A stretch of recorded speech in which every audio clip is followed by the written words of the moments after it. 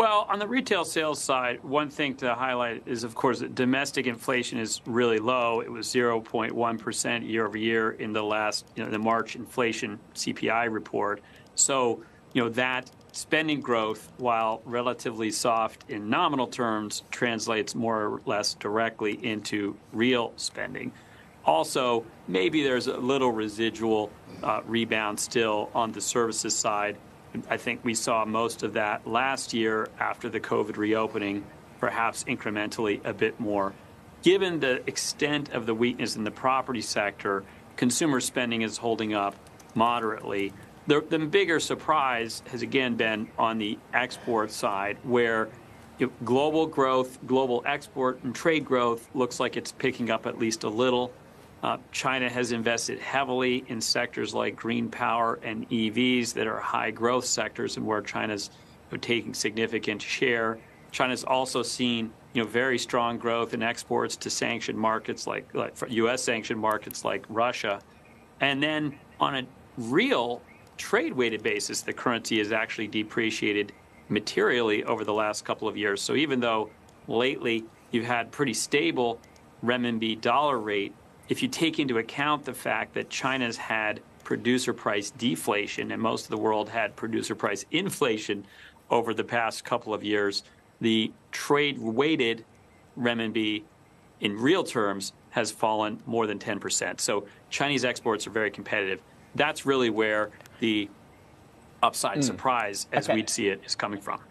Andrew, let me ask this in a different way because you know so much emphasis gets placed day in day out as to oh when when a foreign investor is going to look at you know the Chinese economic climate and start to see these green shoots. Now today you, could draw two different conclusions, right?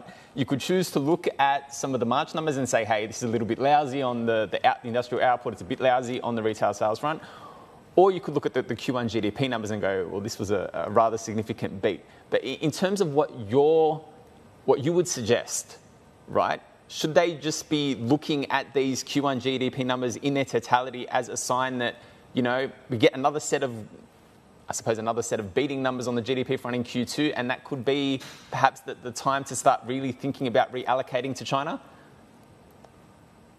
I, from an investment perspective and markets perspective, and you talk about reallocation, our sense is that we probably passed peak bearishness at some point in Q1 in terms of views on the Chinese economy. To be clear, I think many investors are still quite cautious, but relative perhaps to sentiment very late in 2023 or early 2024, there's been a modest bit of improvement, reflecting again, you know, largely the performance on the industrial side of the economy. So you really have a tale of two economies. You have the externally exposed, you know, manufacturing economy that's very competitive and growing at a healthy clip, at least in real terms, in volume terms.